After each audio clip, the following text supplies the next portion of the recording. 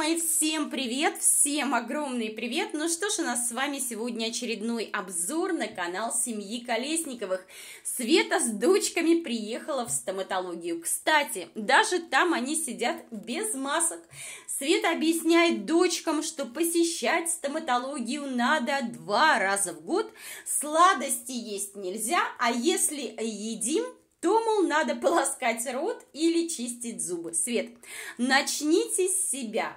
Тем самым вы подадите пример своим детям. Вы знаете, а я помню тот момент, когда 14-летняя Анжела сказала, что чистит зубы тогда, когда у нее есть настроение. А учитывая, что она часто ходит без настроения, могу предположить, что и зубы чистит крайне редко. Далее уже, друзья мои, на кухне опять же недовольная Анжела делала тесто на блины. Видно, что маман припахала дочку, блинов хочется, но готовить дочке ничего не хочется. А Света, как всегда, себя нахваливает и говорит, мои блины всегда очень вкусные получаются, ну-ну мы помним они как наждачка. Края вот этих вот блинов, да, вечно сухие. Далее Света говорит, мы делаем блины на воде, а вы можете добавить туда молоко, сделать, допустим, на воде и на молоке. Свет, ну большое тебе спасибо за твои советы, за твои рецепты. Поверь, мы знаем, как печь блины. У каждой хорошей хозяйки есть свой фирменный рецепт. Вот только боюсь, если я воспользуюсь твоим рецептом, то меня выгонят мои родные из дома. Ну да ладно, надеюсь, этого не случится, поэтому готовить по Светиному рецепту не буду. Приготовлю по своему, да, по-своему, как говорится. Ну, а Света что-то, друзья мои, разошлась не на шутку. Дед, подумала я, вроде бы уехал, оказывается, он на месте. Так вот, она по такому случаю решила приготовить плов – пирог готовит. А, и я сразу же подумала, Светочка, куда столько сладкого? А как же ваши зубки? Видимо, Света про зубы забыла, сделала себе зубы. Главное, она все остальные, в принципе, подождут. И говорит, буду готовить окрошку. С чего бы это, подумала я, такой праздник живота? Неужели опять халява на горизонте?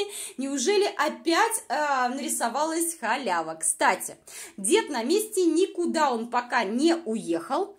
Леша тоже при деле, лежит под машиной, весь в грязи. Спасибо, Леша, за контент.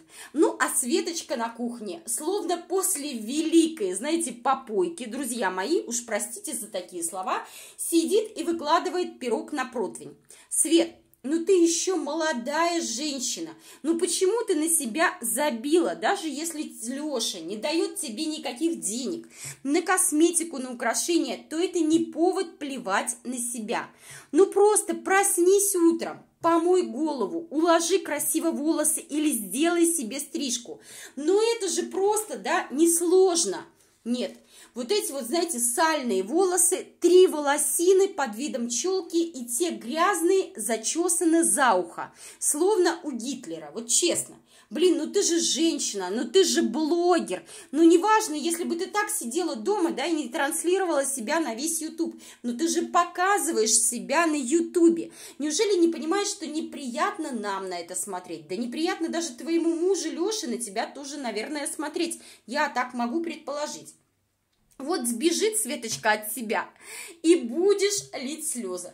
Даже, кстати, та же баба Цвета, которой 65 лет где-то, и то она выглядит лучше и гораздо ухоженнее.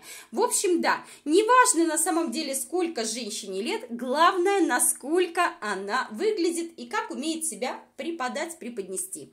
Далее прикол, друзья мои, Витка говорит, Виталинка говорит, крахмал, крахмал, а мама Света ей отвечает, крахмаль крахмаль. Свет, крахмаль это по какому? Вот мне просто интересно, почему крахмаль? Или ты решила, что маловато твоих слов в сборнике? Оладики, ополовник, чечас, укусненько, пюре. Надо еще туда и добавить крахмаль. В общем, да. Так, девочки, надеюсь, все запомнили, кто не в состоянии запомнить, записываем крахмаль. Новое словечко в Светином лексиконе. На заднем плане, знаете, что-то читала Анжела, надеюсь, друзья мои, что это не Библию, но читала так, что вообще видно, понятно, что не понимает, а что она читает. В итоге, знаете, одни слова, что готовила блины ленивая Анжела. Ее просто как ветром сдуло. Никита пек блины. Виталина помогает Свете готовить окрошку. Зачем? Я не поняла. Труд они огурцы на терке на окрошку. Можно спокойно и просто их нарезать, не знаю. Ну, понятное дело, у всех свои, как говорится, заморочки. Никита сидит уже потом чуть живой возле вот этой вот печки, возле, значит, э, да, и сидит и, и уже, и, видимо, устал, устал он уже печь блины, да, по крайней мере, то, что должна была сделать Анжела, сделали все остальные. Кстати, друзья мои, несмотря на то, что кто только не приложил руку к этим блинам, слепые обожатели Колесниковых назвали в комментариях, вот, знаете, великой маминой помощницей Анжелику. Да-да, вы не ослышались. Ну-ну, когда все работали, Анжелика шарилась по холодильнику в поисках еды. Очередной влог, друзья мои. Лёшка опять полуголый, опять грязный, опять по пояс, опять демонстрирует нам место, в общем, о, место масла, насосы, фильтры и так далее. Лёш, неинтересно, но при всем при этом Лёша это делает аж целых 5 минут, дабы мы впечатлились, как он работает. А на кухне довольные дети, главное, сытые дети. Света все-таки приготовила окрошку, все наелись, все счастливые – Говорит, пирог не совсем получился, ну да ладно, в принципе, бывает, с кем не бывает, да? Виталина с куклой, Никита с мягкой игрушкой, Анжела не в настроении. С этими своими двумя хвостами она мне напомнила набоковскую лолиту лет, так скажем, 20 спустя и плюсом 20 кг. Причем молодая девка, а сидит словно убитая, прибитая жизнью, уставшая от всего, знаете, словно это э, у нее, а не у мамы Светы, семеро по лавкам. Макс и тот молодец, всегда что-то делает. То траву косит, то еще что-то, да. В общем, пока все работают, следующая картина. Лолита, наша фитоняшка, развалилась на шезлонге и мечтает. Наверное, мечтает о том, как она осоль э, из алых парусов, да, и к ней приплывает Грей, и просто забирает ее, крадет ее за собой и так далее. И живут они долго и счастливо. Ну что ж, как говорится, мечты, мечты, мечтать не вредно. Причем я смотрю, э, Максик работает, вкалывает, придумывает, а папка мается дурью. Папка запускает дрон, больше у папки дел нет, дед уехал, теперь можно, в принципе, и по, ну, и погулять, и просто, в общем, дурью помаяться, и, в принципе, ничего не делать, друзья мои. Еще один влог, который мы будем с вами обозревать, немножко от себятины. Когда я увидела Название ролика, друзья мои, серьезно говорю, название ролика Колесниковых я увидела «Дедушка уехал». Мне стало смешно. Послушайте, я сразу вспомнила пароль Бабушка приехала!